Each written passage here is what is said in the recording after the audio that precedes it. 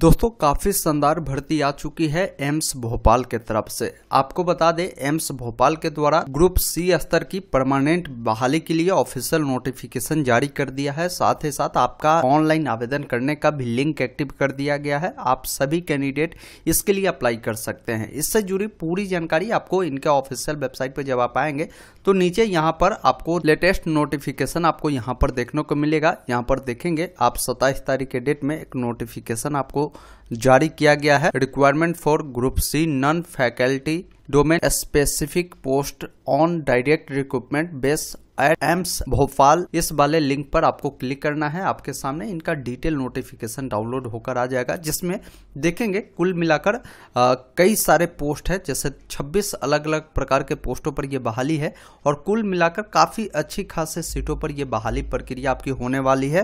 तीन पदों पर, जिसके लिए आप अप्लाई कर सकते हैं। देखिए, हर पोस्ट के लिए क्वालिफिकेशन अलग अलग है। बाकी इसमें दस भी पास है बारह भी पास है, डिप्लोमा किए हुए, ग्रेजुएशन किए हुए, सबको यहाँ पर मौका दिए गए हैं। आप अपनी योग्यता के अनुसार अलग अलग पोस्ट के लिए अप्लाई कर सकते हैं। देखिए, अप्लाई की प्रक्रिया 27 अक्टूबर से स्टार्ट हो चुकी है। 20 नवंबर 2023 तक आपकी आवेदन प्रक्रिया चलने वाली है। इसमें सिलेक्शन प्रक्रिया आपके जो एग्ज़ाम होते हैं, सीबीटी, उसके आधार पर ही होता है। इन बातों को ध्यान रखिएगा। बाकी इन पोस्ट के लिए अप्लाई करेंगे तो जनरल ओबीसी डब्ल्यूएस के लिए 1200 है, एससी, एसटी, फ़िज़िकल हैंडीकैप के लिए छह सौ रुपए पेमेंट आपको ऑनलाइन माध्यम से जमा करने होंगे। क्वालिफिकेशन की बात करें तो तेरह नंबर पेज में जब आप आएँगे तो क्वालिफिकेशन की जानकारी दिया गया पोस्ट वाइज। जैसे यहाँ पर देखिए, हॉस्पिटल अटेंडेंट ग्रेड थ्री का ये आपकी पोस्ट है, जिसमें मैट्रिक कम से कम अगर आप पास आउट है तो अप्लाई कर सकते हैं। साथ ही साथ certificate course in hospital services conducted by recognise organisation से आपका सर्टिफिकेट होनी चाहिए और डिजिरेबल में बताया गया कि आपके पास एक्सपीरियंस है तो वो अप्लाई कर सकते हैं। नहीं है, फिर भी डिजिरेबल वाला जो क्वालिफिकेशन है, आप पूर्ति नहीं भी करते, फिर भी आप इसके लिए एलिजिबल होंगे। एज की बात करें तो 18 से 30 वर्ष है तो इसी प्रकार लैब अटेंडेंट का यहाँ पर देखेंगे 10 प्लस टू मांगा गया है और यहाँ पर आपकी एज की जानकारी दी गई। तो अलग अलग पोस्ट की जानकारी आपको यहाँ पर आकर देखना होगा, जो आप नोटिफिकेशन डाउनलोड कर कर समझ सकते हैं। तो आइए जानते हैं इसके लिए आप अप्लाई कैसे करेंगे। अप्लाई करने का डायरेक्ट लिंक जो है इस वीडियो के डिस्क्रिप्शन बॉक्स में आपको उपलब्ध करा दी गई है, जिस पर क्लिक करेंगे डायरेक्ट इस लिंक पर आ जाएँगे, जहाँ पर सबसे पहले आपको पोस्ट चुनना होगा कि किस पोस्ट के लिए आप अप्लाई करना चाहते हैं। उसके बाद आपका जो भी फ़र्स्ट नेम होगा, इस बॉक्स में आप अपना फ़र्स्ट नेम डालेंगे और जो भी आपका सरनेम होगा, यहाँ पर आप फिल करेंगे, पिताजी का जो भी नाम होगा, आप यहाँ पर बताएँगे माता जी का नाम बताएँगे डेट ऑफ़ बर्थ जो भी होगा, यहाँ पर कैलेंडर मिलता है। सबसे पहले आप अपने साल को यहाँ से चुनेंगे, जो भी आपकी मंथ होगी और जो भी डेट होगा उससे आप यहाँ पर चयन करेंगे। उसके बाद आप अपना जेंडर बताएँगे मेल है या फीमेल है, आपकी शादी हो चुकी है तो एस करें, अन्यथा नो वाले विकल्प पर क्लिक करें। बाकी यहाँ पर कोई विधवा महिला है या कोई ऐसे पर्सन है जिनके शादी हुई थी डिवोर्स हो चुका है तो वैसे स्थिति में आप इस नो में अपनी जानकारी को यहाँ पर बताएँगे।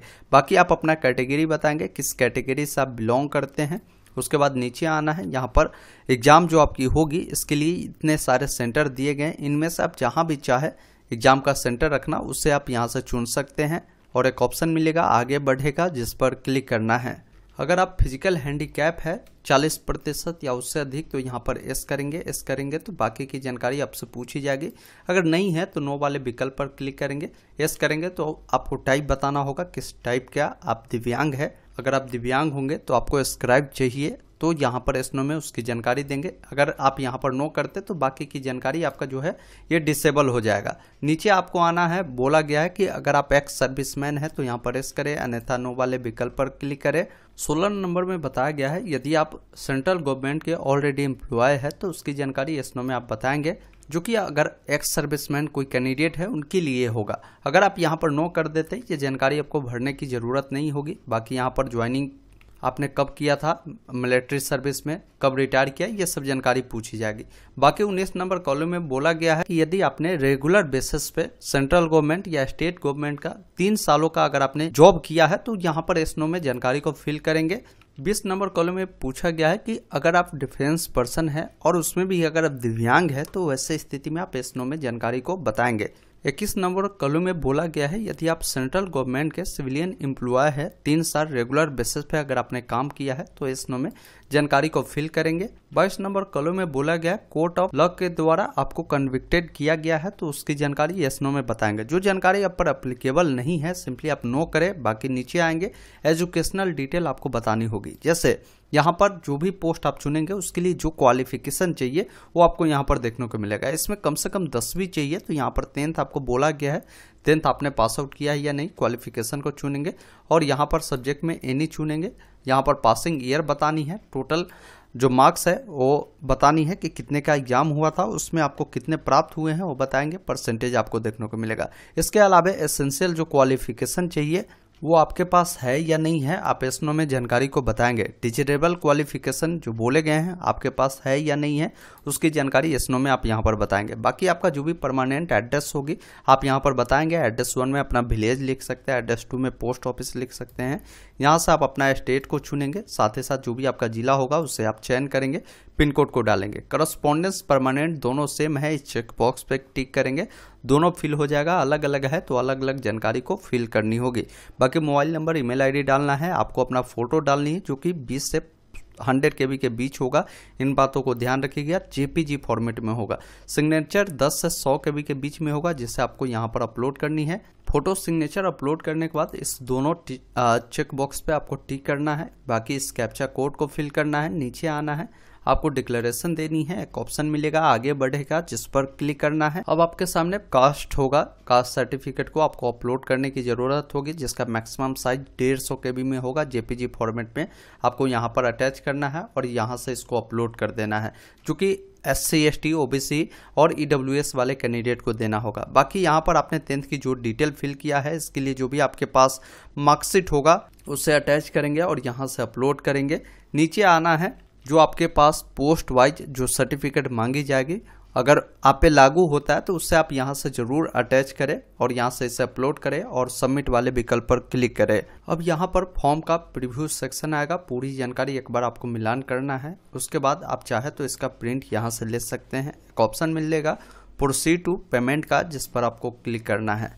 अब आपके सामने भी पेमेंट जब करने जाएँगे इस प्रकार एक कीड़ा आएगा तो यहाँ पर हमेशा आपको सेंड एनी वे पे क्लिक करना है, ना कि आपको गो बैक पे। सेंड एनी वे पे जैसे ही आप क्लिक करेंगे, आपको पेमेंट गेटवे पे रिडायरेक्ट करेगा।